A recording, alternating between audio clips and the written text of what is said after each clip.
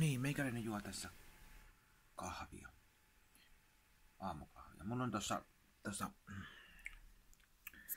tälle päivälle pieni asia. Eli meikäläinen lähtee tänään viettämään viikonloppua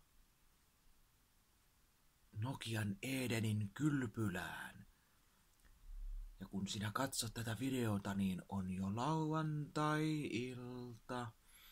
Jo lauantai-ilta, kun video tulee. Ja pahoittelen, kun en ole kuvannut videota tai vastannut faninumeron. Lähden viettään laatuaikaa viikonlopuksi Nokian Edeniin. Hotellit, kaikki, kaikki on maksettu, rahoitukset kunnossa, ei kun menoksi vaan, sanoi Andi Lenoksi.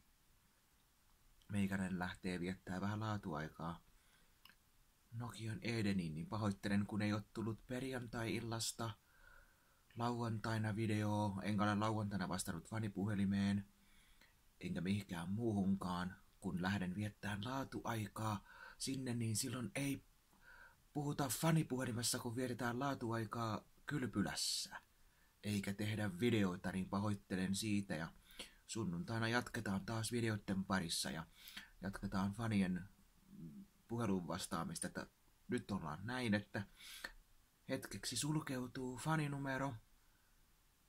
Sunnuntaina taas on auki linjat, pahoittelen siitä, että kun en vastaa lauantaina, koko lauantaina ollenkaan faninumeroon, turha yrittää soittaa, pahoittelen siitä.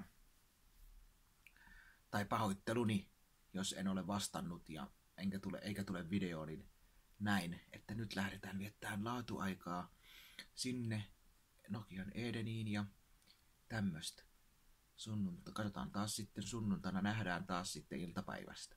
Ei muuta kuin pitäkää hyvä viikonloppu ja rentoutukaa, niin meikäläinenkin lähtee tekemään. Nyt rentoudutaan näihin kuviin ja näihin tunnelmiin.